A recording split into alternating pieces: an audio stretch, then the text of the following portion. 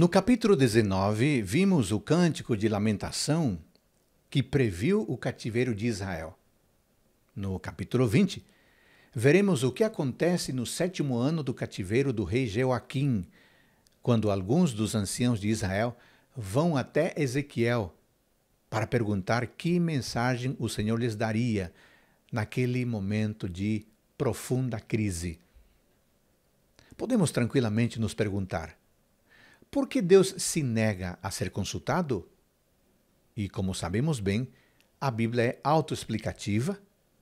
É por essa razão que, em alguns versículos mais adiante, notamos a resposta do porquê Deus não quis ser consultado pelos representantes do rebelde povo de Israel.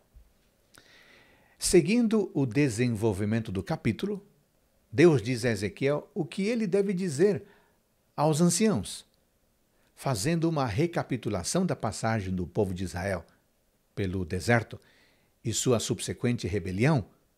O Senhor o lembra de que seus mandamentos foram quebrados e violados por aqueles que deveriam obedecer com amor e gratidão àquele que os havia libertado do cativeiro egípcio. Deus continua enfatizando que, apesar das advertências, o povo não se converteu de seu mau caminho. Ele faz a pergunta que está no versículo 31. Será que eu devo deixar que vocês me consultem, ó casa de Israel? É muito interessante observar em uma das partes desse capítulo o princípio do livre-arbítrio quando o próprio Senhor diz no verso 39 que cada um de vocês vai e adore os seus ídolos, agora e mais tarde, já que vocês não querem me ouvir. Deus não obriga ninguém a obedecê-lo, mas isso não nos habilita a jogar nos dois lados ou servir a dois senhores. Então Deus, em outras palavras, diz: Se quiser ir embora e não me obedecer, pode ir.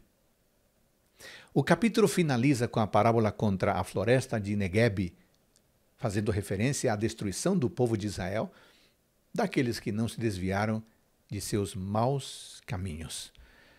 Você pode estar pensando, Pastor Adolfo, então quer dizer que temos apenas más notícias? Fique tranquilo. A melhor parte deste capítulo se encontra nos versículos 40 a 44, onde está a parte da esperança. Lembre-se neste dia que Deus lhe dá uma nova oportunidade para que você possa se purificar de seus pecados, voltar do caminho errado e ser capaz de representar o amor de Jesus para as pessoas que estão ao seu redor. Aproveite a solução que Deus tem para a sua vida e fale do amor do Pai Celestial às demais pessoas que ainda não o conhecem. Que assim seja. Amém.